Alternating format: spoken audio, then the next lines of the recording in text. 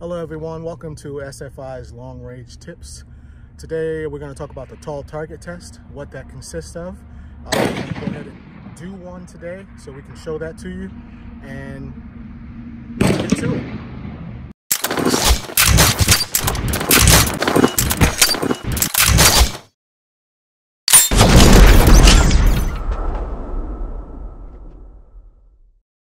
So this is the tall target target.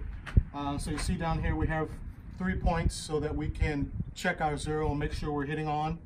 And then you're going to dial up 30 MOA and see where you hit. All right.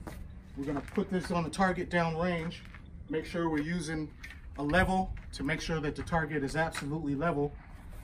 And then we're going to measure back, make sure that we know the distance to the target.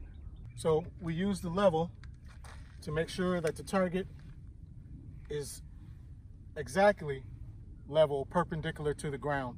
You can't use the targets because sometimes those are crooked. So when you use this, you use the bubble level, you make sure that it's all correct. Now we'll measure from here back to the table and make sure we have the exact distance.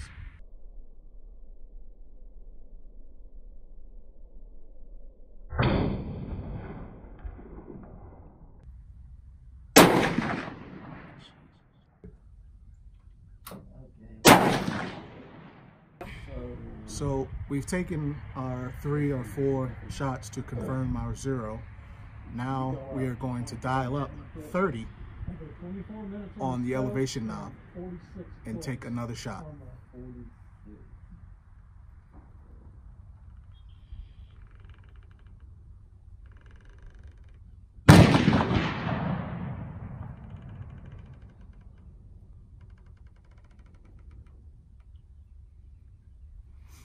Left side, just Okay. off the Gotta oh. keep it between them. Okay. Same thing.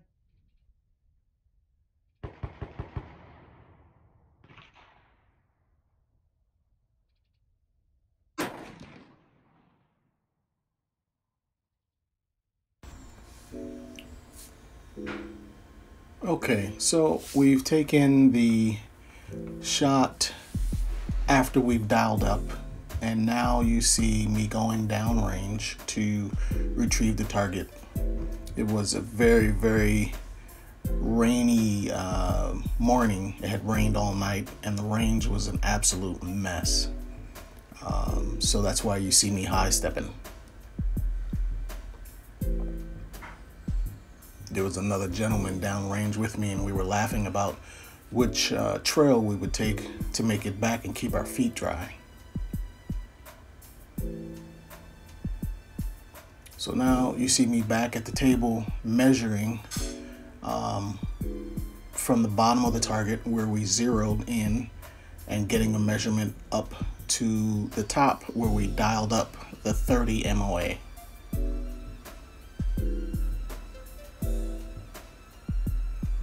and there's the formula on my phone. So we have a measured distance of 100 yards times uh, the distance we dialed up, which was 30 MOA, times the constant, which is 0.01047, equal 31.41. Um, and now So now we're going to take that expected POI divided by the measured POI, which equals our correction factor. So that's going to be the 31.41 divided by 31.74 gives us 0.989, um, which is almost perfect when we are putting that into our ballistic calculator, um, the uh, default is 1.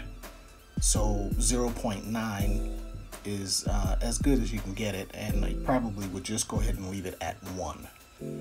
So there you have it. Uh, we take, for if you want to see that formula, I'll post it up for you. Um, but that is a tall target test, which is intricate um, and using ballistic calculators to get first round hits on long range targets. Uh, you have to ensure that your elevation knob is dialed in and the ballistic calculator knows uh, what the correction factor is or knows what that dial is actually dialing in for. And once you have that, uh, you put your fundamentals together and you can read the wind, um, you 90% of the time can make a first round hit. So, as always, um, thank you for watching.